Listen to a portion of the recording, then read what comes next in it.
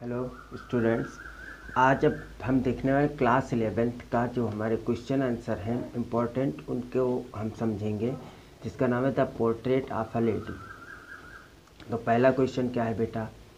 पहला है how did the narrator grandfather appear in the portrait how did the narrator मतलब जो लेखक हैं उनके ग्रैंड फादर कैसे दिखते थे पोर्ट्रेट में? तस, जो तस्वीर टंगी हुई थी। In the portrait the narrator's grandfather was wearing a big turban in the portrait जो तस्वीर थी द नरेटर्स ग्रैंड फादर की नरेटर के दादाजी की was wearing a big turban जिन्होंने बड़ी सी पगड़ी पहन रखी थी एंड लूज फिटिंग गारमेंट्स और ढीले ढाले कपड़े पहने थे। He had long white beard up to his chest और उनके दाढ़ी थी जो कि उनके चेस्ट छाती तक आती थी।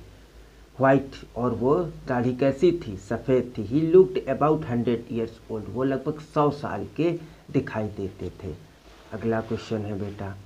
Describe the happiest half hour of the day for the grandmother describe उस, उन हैप्पीएस्ट हाफ़ आवर आधे घंटे मतलब आधे घंटे जो थे ऑफ़ द डे दिन के जो आधे घंटे थे वो माता जो ग्रैंड मदर थे, उनके सबसे प्रसन्नता वाले तीन घंटों के बारे में बताना है हमको। इन द आफ्टरनून दोपहर में the grandmother relaxed for a while for a while to feed while to feed the sparrows in the veranda in the afternoon दोपहर के समय द ग्रैंड मदर रिलैक्सड आराम करती थी फॉर अ वाइल्ड थोड़े समय के लिए टू फ़ीड द स्पैरोज जो चिड़िया होती थी, उनको पेट भरती थी इन द ब्रांदा ब्रांदा में। She sat broke bread into pieces वह रोटी के छोटे छोटे टुकड़े करती थी and hundred of birds and hundred of birds flowed to her some of them sat on her shoulder and chirped क्या होता था? बहुत सारी चिड़िया आ जाती थी उड़कर और उनके कंधे पर बैठती थी एंड चेयरपड और चीची चीची किया करती थी. सी एवर स्माइल्ड वह हमेशा मुस्कुराती थी। Thus it was the happiest half hour of the day for her यही सबसे प्रसन्नता के जो उनके घंटे होते थे, वही होते थे दिन के। सबसे ज़्यादा उन्हें खुशी तभी मिलती थी जब वो चिड़ियों को उनका पेट भरती थी और वो आकर चीची चीची करके उनके ऊपर बैठती थी। अगला क्वेश्चन है बेटा। How did the narrator and the grandmother becomes good friend जो लेखक है और उसकी दादी माँ है, कैसे अच्छे दोस्त बन गए थे। When the narrator's parents went to live in a city when जब जब नरेटर जो लेखक था, उसके माता पिता शहर में रहने चले आते हैं he was left with her grandmother और लेफ़्ट वो उसे छोड़ आते हैं किसके पास? उसकी दादी माँ के पास। She helped him in arranging every morning वह उसकी मदद करती थी सुबह उठने में। गेटिंग रेडी तैयार होने में to go to school school जाने में she also helped in preparing his lesson और उसकी तय उसकी मदद करती थी उसके पाठ को तैयार करने में। दस दे बिकम गुड फ्रेंड इस तरह से वो अच्छे दोस्त बन गए थे। आगे देखते हैं बेटा। Why could the grandmother not walk straight दादी माँ सीधी तरह से क्यों नहीं चल सकती थी? The grandmother could not walk straight जो दादी माँ थी कुड नॉट वॉक स्ट्रेट वह सीधी तरह से नहीं चल सकती थी बिकॉज़ क्योंकि सी वॉज़ टू ओल्ड क्योंकि वह बहुत बूढ़ी थी। And stooped she used to keep her hand on back to maintain balance of the body और वो हमेशा अपना हाथ जो था वो अपने पीछे बैक पीठ पर रखती थी, झुककर चलती थी। देखा होगा आप लोगों ने कि जैसे बूढ़ा कोई व्यक्ति चलता है तो झुककर चलता है तो कमर को पकड़ कर चलता है। अपनी, इस तरह से वो अपना पीछे हाथ रखती थी पीठ पर, इसलिए रखती थी क्योंकि उनके शरीर का जो संतुलन है वो बराबर बना रहना चाहिए।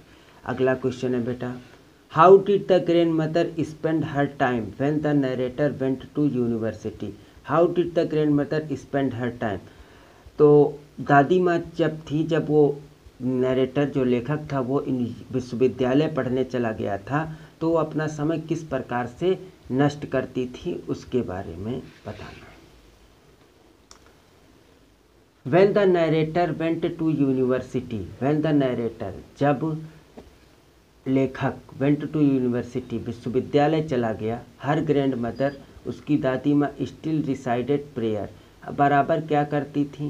बराबर अपनी प्रार्थना वो कहा करती थी। एंड फेड स्पैरोस और चिड़ियों का पेट भरती थी। She used to sing song of the homecoming of warriors और जो भी आता था उसका एक वैरियर मतलब योद्धा के समान उस गाना गाकर उसका हर, घर आने वाले को सी यूज़ टू वो किया करती थी टू सिंग सॉन्ग गाना गाया करती थी। Of the homecoming of warrior जो भी घर पर उनके आता था उसके लिए गाया करती थी। Why did grandmother keep one hand और हर वेस्ट दादी माँ अपना हाथ कमर पर क्यों रखती थी? The grandmother was very old दादी माँ बहुत बूढ़ी थी। सी वॉज़ स्लाइटली बेंट वह मतलब स्लाइटली बेंट सीधी तरह से नहीं खड़े हो पाना। So she could not stand and walk in her in a straight वह सी कुड नॉट स्टैंड। वह बराबर नहीं खड़ी हो पाती थी and walk in a straight और सीधी तरह से नहीं चल पाती थी। मैंने सीधे तरीके से। सी कीप्स वन हैंड और हर वेस्ट वह अपना हाथ एक रखती थी। हर बेस्ट अपनी कमर पर टू बैलेंस हर स्टूप। अपने को बराबर संतुलित करने के लिए वो अपना हाथ कमर पर रखती थी। अगला देखते हैं बेटा। How could the grandmother be beautiful without being pretty माता जी जो दादी माँ थी बिना सुंदर हुए भी mother beautiful without being pretty ना सुंदर होते भी, होते हुए भी वह सुंदर थी। The grandmother never appear to be pretty grandmother never appear to be pretty वह कभी भी मतलब बहुत सुंदर नहीं प्रतीत होती थी फिजिकली मतलब शारीरिक रूप से। She was never an attractive women वह कभी भी किसी को आकर्षित, अपनी तरफ़ आकर्षित करने वाली औरत नहीं थी। But she a divine beauty in her noble quality लेकिन उनके अंदर क्या था? डिवाइन एक अच्छा हृदय था अच्छे मतलब श्रेष्ठ, उनके गुण जो थे, वो बहुत अच्छे थे। गेव हर स्पिरिचुअल जो आध्यात्मिक, जो उनके अंदर आध्यात्मिक स्पिरिचुअल ब्यूटी मतलब आध्यात्मिक सुंदरता थी। So she could be beautiful without being pretty इसीलिए वह न सुंदर होते हुए भी बहुत सुंदर थी। अगला लास्ट क्वेश्चन देखते हैं बेटा। Was the narrator's grandmother once young and pretty if not why क्या नरेटर की दादी माँ कभी जवान थी और सुंदर थी? इफ़ नॉट यदि नहीं थी तो क्यों?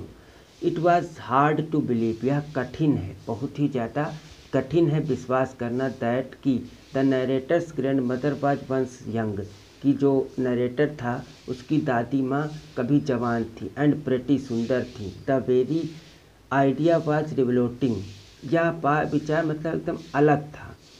She had always wrinkled and pale face मतलब उनका जो चेहरा था, उस पर झुर्रियाँ थी और चेहरा हमें पीला था। She had been looking the same terribly old lady वह एक बहुत बूढ़ी औरत दिखती थी। हमेशा से for the last twenty years कितने सालों से बीस साल से वो एक ही तरह से दिख रही थी। No change was ever visible in her. उनके अंदर किसी भी प्रकार का बदलाव बीस साल के भीतर नहीं आया था। इसीलिए उस नरेटर को लगता था कि दादी माँ शायद कभी भी मेरी दादी माँ ऐसी सुंदर नहीं होंगी। क्योंकि 20 साल से वो जो, उनको देखता आ रहा था तो उनका वैसा ही चेहरा था, रिंकल, जो झुर्रियों से और चेहरा, झुर्रियों, चेहरे पर झुर्रियाँ थीं और उनका चेहरा पीला था। इसीलिए उसे हमेशा यही लगता था कि शायद दादी माँ पहले इतनी सुंदर ना रही हों। तो आगे का बेटा अगले वीडियो में देखते हैं। इतना उम्मीद है आप लोगों को समझ में आ गया होगा।